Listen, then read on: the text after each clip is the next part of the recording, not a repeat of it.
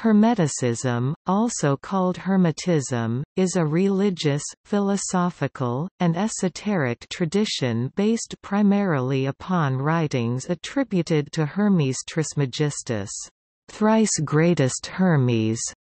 These writings have greatly influenced the Western esoteric tradition and were considered to be of great importance during both the Renaissance and the Reformation. The tradition traces its origin to a Prisca theologia, a doctrine that affirms the existence of a single, true theology that is present in all religions and that was given by God to man in antiquity. Many writers, including Lactantius, Cyprian of Carthage, Augustine of Hippo, Marsilio Ficino, Giovanni Pico della Mirandola, Giordano Bruno, Tommaso Campanella, Sir Thomas Browne, and Ralph Waldo Emerson, considered Hermes Trismegistus to be a wise pagan prophet who foresaw the coming of Christianity. Much of the importance of Hermeticism arises from its connection with the development of science during the time from 1300 to 1600 AD. The prominence that it gave to the idea of influencing or controlling nature led many scientists to look to magic and its allied arts e.g., alchemy, astrology which, it was thought, could put nature to the test by means of experiments. Consequently, it was the practical aspects of Hermetic writings that attracted the attention of scientists. Isaac Newton placed great faith in the concept of an unadulterated, pure, ancient doctrine, which he studied vigorously to aid his understanding of the physical world.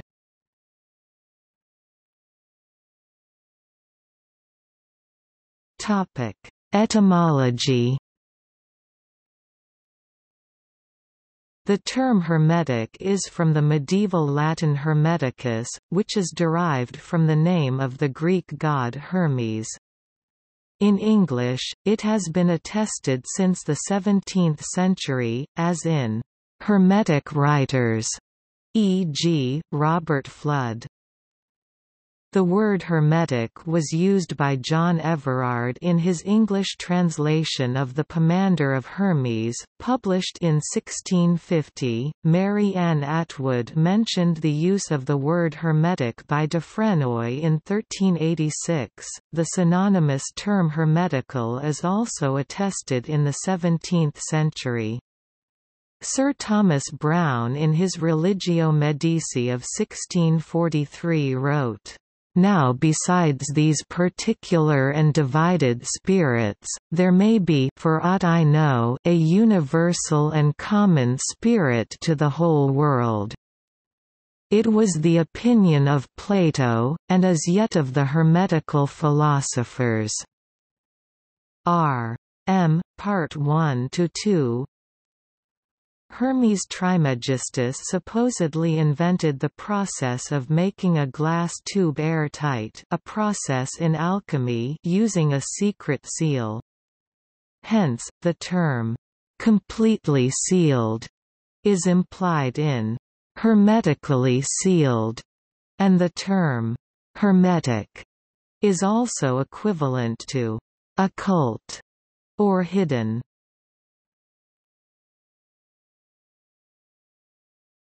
Topic: History.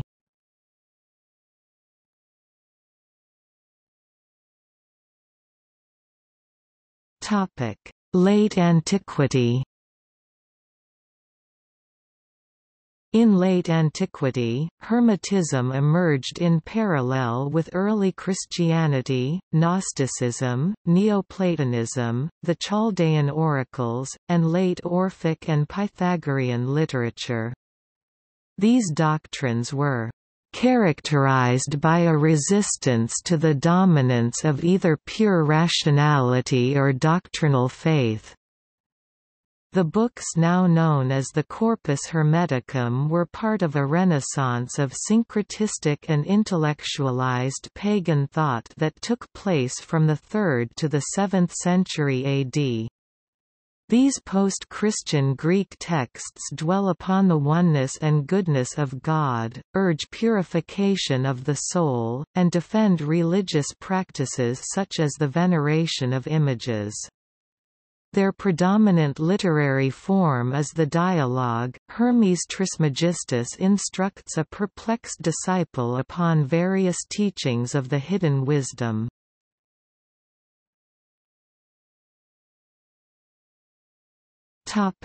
Renaissance Plutarch's mention of Hermes Trismegistus dates back to the 1st century AD, and Tertullian, Iamblichus, and Porphyry were all familiar with Hermetic writings. After centuries of falling out of favor, Hermeticism was reintroduced to the West when, in 1460, a man named Leonardo de Candia Pistoia brought the Corpus Hermeticum to Pistoia. He was one of many agents sent out by Pistoia's ruler, Cosimo de' Medici, to scour European monasteries for lost ancient writings. In 1614, Isaac Casaubon, a Swiss philologist, analyzed the Greek Hermetic texts for linguistic style. He concluded that the writings attributed to Hermes Trismegistus were not the work of an ancient Egyptian priest but in fact dated to the 2nd and 3rd centuries AD, even in light of Casaubon's linguistic discovery and typical of many adherents of Hermetic philosophy in Europe during the 16th and 17th centuries. Thomas Browne in his Religio Medici 1643 confidently stated, "...the severe schools shall never laugh me out of the philosophy of Hermes, that this visible world is but a portrait of the invisible." R. M. Part 112 in 1678, however, flaws in Casaubon's dating were discerned by Ralph Cudworth, who argued that Casaubon's allegation of forgery could only be applied to three of the seventeen treatises contained within the Corpus Hermeticum. Moreover, Cudworth noted Casaubon's failure to acknowledge the codification of these treatises as a late formulation of a pre-existing oral tradition. According to Cudworth, the texts must be viewed as a terminus ad quem and not a terminus a quo. Lost Greek texts, and many of the surviving Vulgate books, contained discussions of alchemy clothed in philosophical metaphor. In the 19th century, Walter Scott placed the date of the Hermetic texts shortly after 200 AD, but W. Flinders Petrie placed their origin between 200 and 500 BC.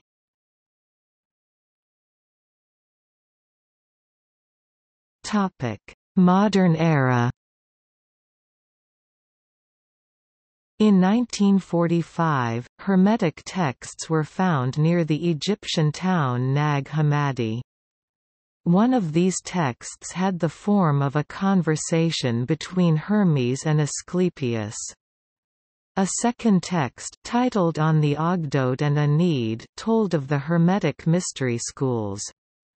It was written in the Coptic language, the latest and final form in which the Egyptian language was written. According to Geza Vermes, Hermeticism was a Hellenistic mysticism contemporaneous with the Fourth Gospel, and Hermes Trismegistos was the Hellenized reincarnation of the Egyptian deity Thoth, the source of wisdom, who was believed to deify man through knowledge gnosis. Gilles Quispel says, it is now completely certain that there existed before and after the beginning of the Christian era in Alexandria a secret society, akin to a Masonic lodge. The members of this group called themselves «brethren», were initiated through a baptism of the Spirit, greeted each other with a sacred kiss, celebrated a sacred meal and read the Hermetic writings as edifying treatises for their spiritual progress. On the other hand, Christian Bull argues that there is no reason to identify Alexandria as the birthplace of a Hermetic lodge as several scholars have done. There is neither internal nor external evidence for such an Alexandrian lodge, a designation that is alien to the ancient world and carries Masonic connotations.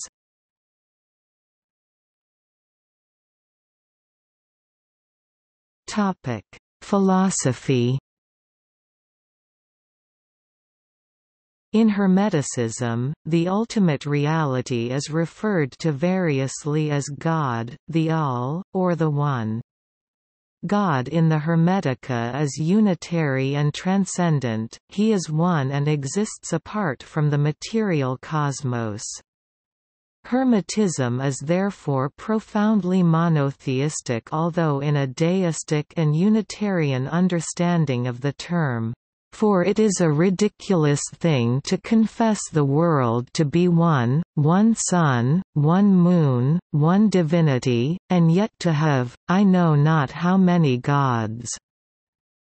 Its philosophy teaches that there is a transcendent God, or absolute, in which we and the entire universe participate. It also subscribes to the idea that other beings, such as eons, angels and elementals, exist within the universe.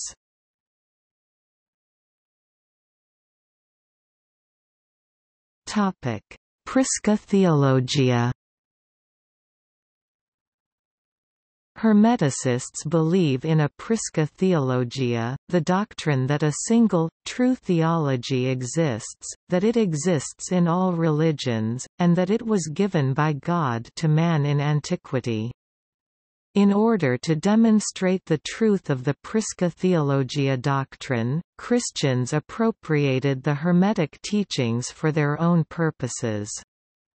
By this account, Hermes Trismegistus was according to the Fathers of the Christian Church either a contemporary of Moses or the third in a line of men named Hermes Enoch, Noah, and the Egyptian priest-king who is known to us as Hermes Trismegistus.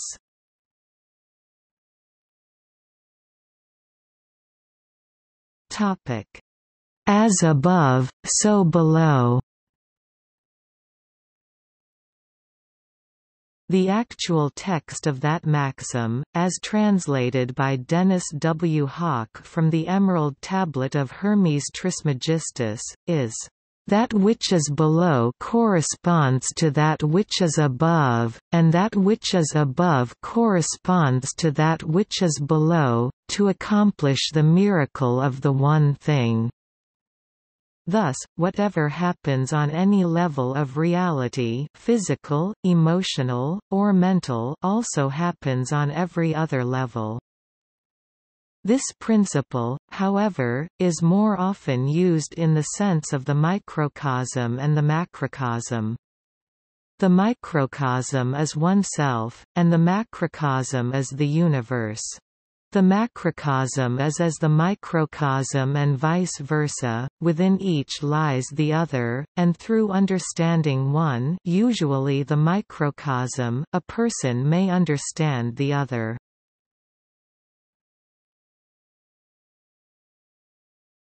The three parts of the wisdom of the whole universe Alchemy the operation of the sun, alchemy is not merely the changing of lead into gold. It is an investigation into the spiritual constitution, or life, of matter and material existence through an application of the mysteries of birth, death, and resurrection. The various stages of chemical distillation and fermentation, among other processes, are aspects of these mysteries that, when applied, quicken nature's processes in order to bring a natural body to perfection. This perfection is the accomplishment of the magnum opus Latin for great work Astrology the operation of the stars, Hermes claims that Zoroaster discovered this part of the wisdom of the whole universe, astrology, and taught it to man. In Hermetic thought, it is likely that the movements of the planets have meaning beyond the laws of physics and actually hold metaphorical value as symbols in the mind of the All, or God. Astrology has influences upon the earth, but does not dictate our actions, and wisdom is gained when we know what these influences are and how to deal with them. Theurgy the operation of the gods, there are two different types of magic, according to Giovanni Pico della Mirandola's Apology, completely opposite of each other. The first is Goetia Greek, Goeia black magic reliant upon an alliance with evil spirits i.e., demons. The second is Theurgy, divine magic reliant upon an alliance with divine spirits i.e., angels, archangels, gods. Theurgy translates to the science or art of divine works and is the practical aspect of the Hermetic art of alchemy.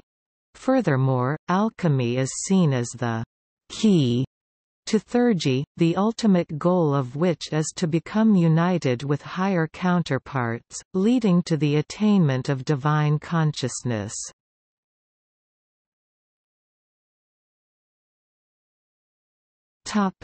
Reincarnation Reincarnation is mentioned in Hermetic texts. Hermes Trismegistus asked, O Sun, how many bodies have we to pass through, how many bands of demons, through how many series of repetitions and cycles of the stars, before we hasten to the one alone?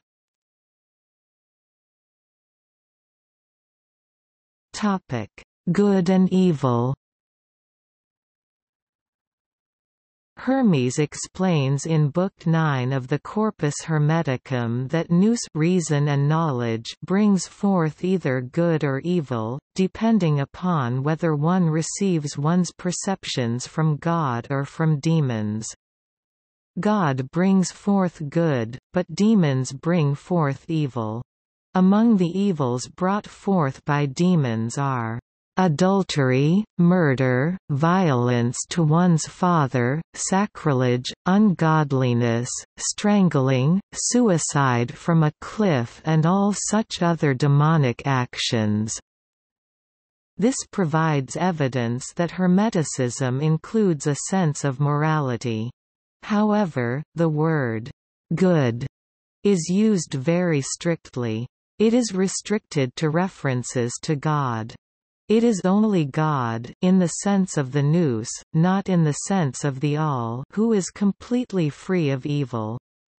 Men are prevented from being good because man, having a body, is consumed by his physical nature, and is ignorant of the supreme good. A focus upon the material life is said to be the only thing that offends God, as processions passing in the road cannot achieve anything themselves yet still obstruct others, so these men merely process through the universe, led by the pleasures of the body. One must create, one must do something positive in one's life, because God is a generative power. Not creating anything leaves a person sterile i.e., unable to accomplish anything.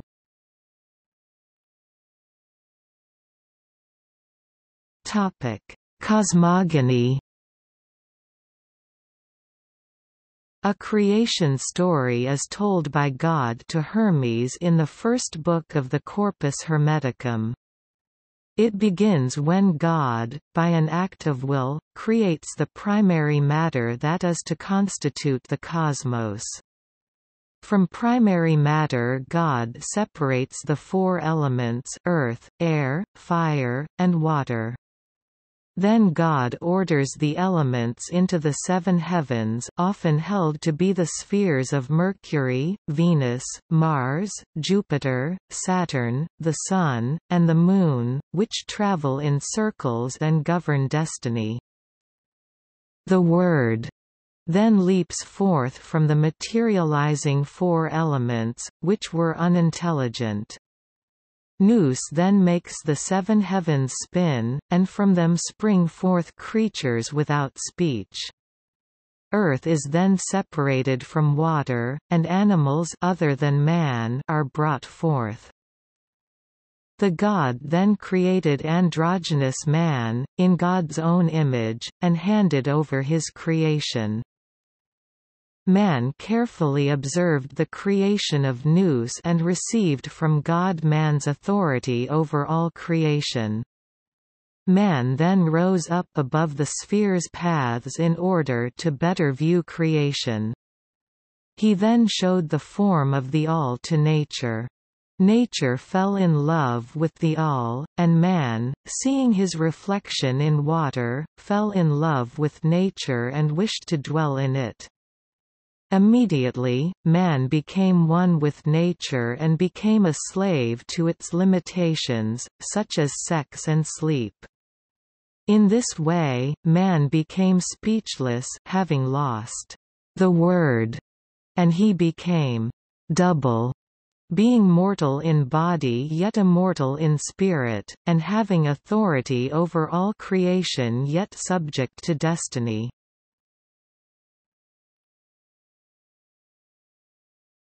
Topic: Alternative account. An alternative account of the fall of man, preserved in the Discourses of Isis to Horus, is as follows God, having created the universe, then created the divisions, the worlds, and various gods and goddesses, whom he appointed to certain parts of the universe. He then took a mysterious transparent substance, out of which he created human souls.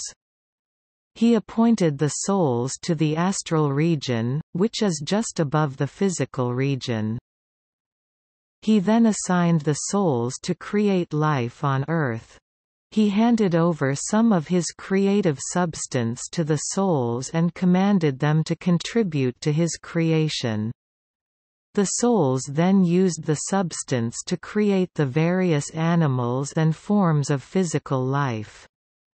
Soon after, however, the souls began to overstep their boundaries, they succumbed to pride and desired to be equal to the highest gods. God was displeased and called upon Hermes to create physical bodies that would imprison the souls as a punishment for them. Hermes created human bodies on earth, and God then told the souls of their punishment. God decreed that suffering would await them in the physical world, but he promised them that, if their actions on earth were worthy of their divine origin, their condition would improve and they would eventually return to the heavenly world. If it did not improve, he would condemn them to repeated reincarnation upon earth.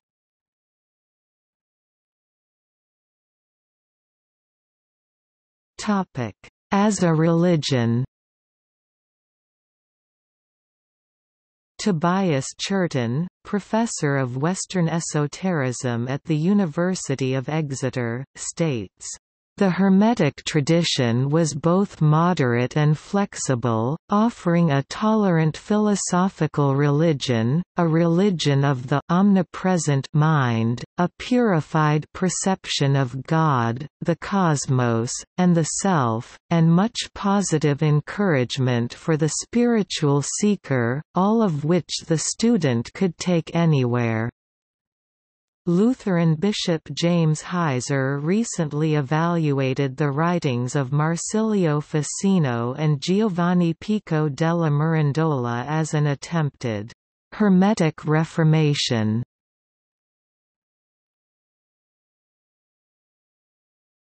Topic: Religious and philosophical texts Hermeticists generally attribute 42 books to Hermes Trismegistus, although many more have been attributed to him.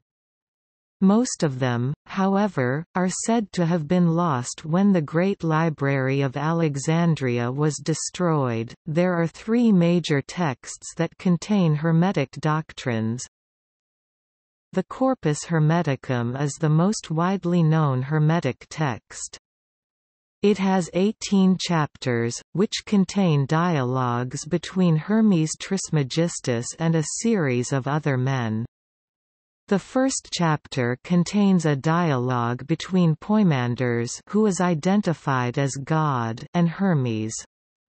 This is the first time that Hermes is in contact with God.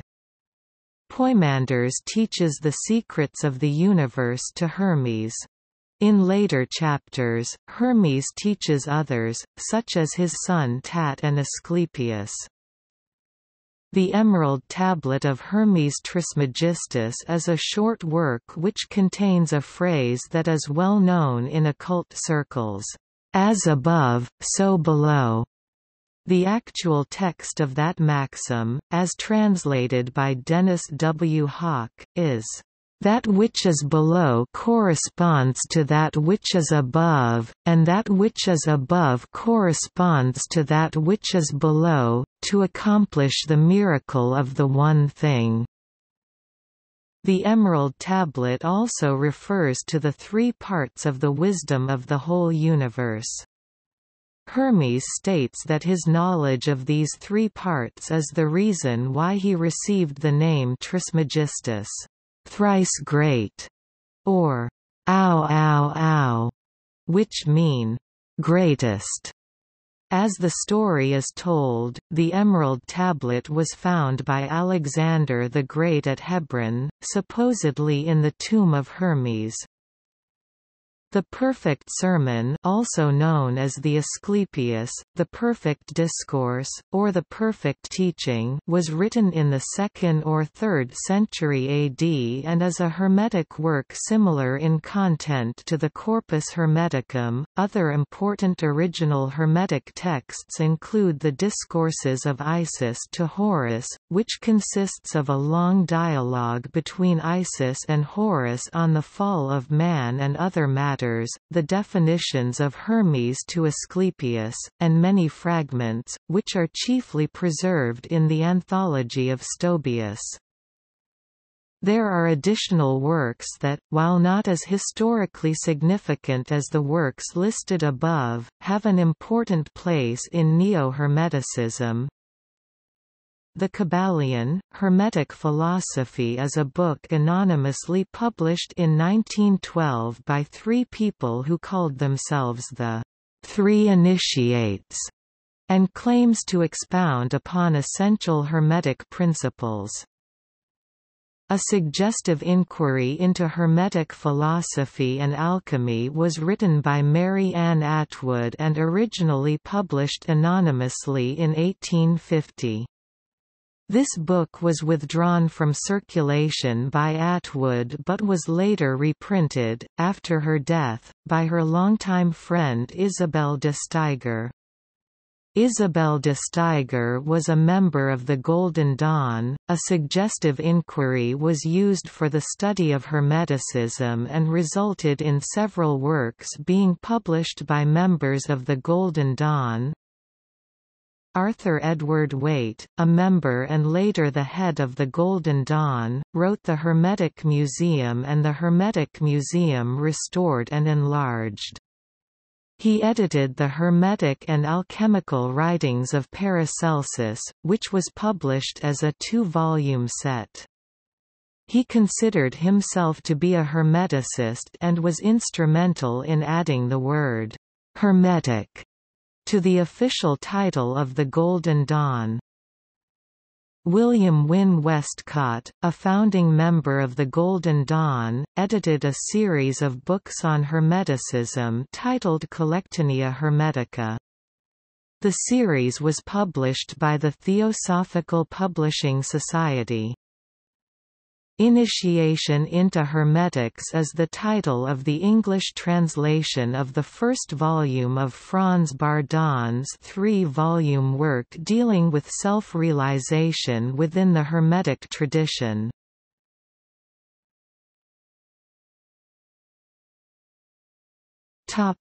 Societies When Hermeticism was no longer endorsed by the Christian Church, it was driven underground, and several Hermetic societies were formed. The Western esoteric tradition is now steeped in Hermeticism. The work of such writers as Giovanni Pico della Mirandola, who attempted to reconcile Jewish Kabbalah and Christian mysticism, brought Hermeticism into a context more easily understood by Europeans during the time of the Renaissance. A few primarily Hermetic occult orders were founded in the late Middle Ages and early Renaissance. Hermetic magic underwent a 19th-century revival in Western Europe, where it was practiced by groups such as the Hermetic Order of the Golden Dawn, Aurum Solis, and Ragon. It was also practiced by individual persons, such as Eliphas Levi, William Butler Yeats, Arthur Machen, Frederick Hockley, and Kenneth M. Mackenzie. Many Hermetic, or Hermetically influenced, groups exist today. Most of them are derived from Rosicrucianism, Freemasonry, or the Golden Dawn.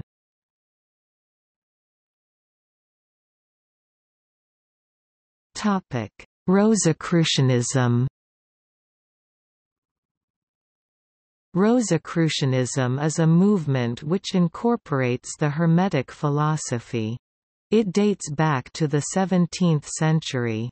The sources dating the existence of the Rosicrucians to the 17th century are three German pamphlets, the Fama, the Confessio Fraternitatis, and the Chymical Wedding of Christian Rosenkreutz.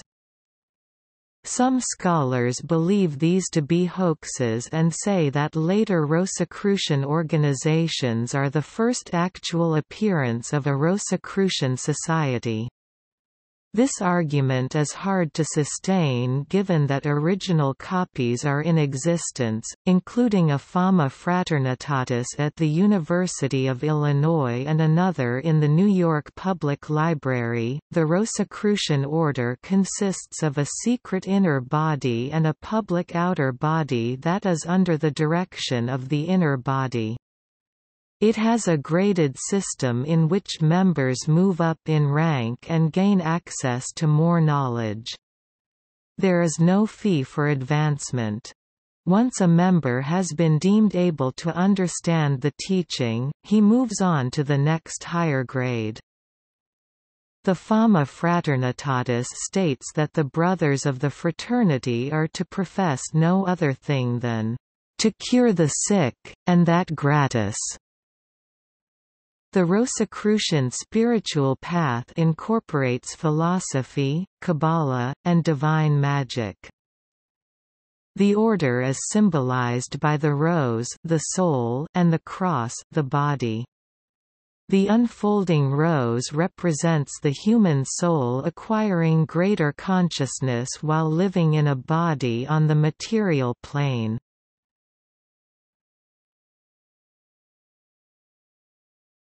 Topic: Hermetic Order of the Golden Dawn. Unlike the Societas Rosicruciana in Anglia, the Hermetic Order of the Golden Dawn was open to both sexes and treated them as equals. The order was a specifically Hermetic society that taught alchemy, Kabbalah, and the magic of Hermes, along with the principles of occult science. The Golden Dawn maintained the tightest of secrecy, which was enforced by severe penalties for those who disclosed its secrets. Overall, the general public was left oblivious of the actions, and even of the existence, of the order, so few if any secrets were disclosed. Its secrecy was broken first by Aleister Crowley in 1905 and later by Israel Regardie in 1937. Regardie gave a detailed account of the Order's teachings to the general public. Regardie had once claimed that there were many occult orders which had learned whatever they knew of magic from what had been leaked from the Golden Dawn by those whom Regardie deemed renegade members. The Stella Matutina was a successor society of the Golden Dawn.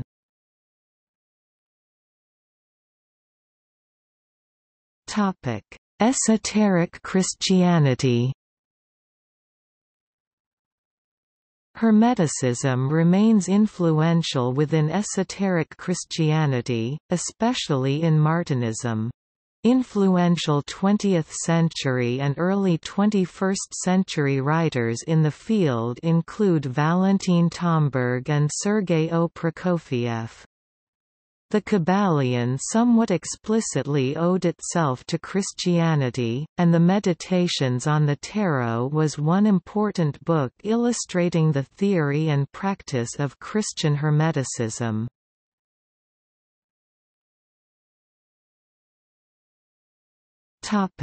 Mystical neopaganism Hermeticism remains influential within neopaganism, especially in Hellenism. See also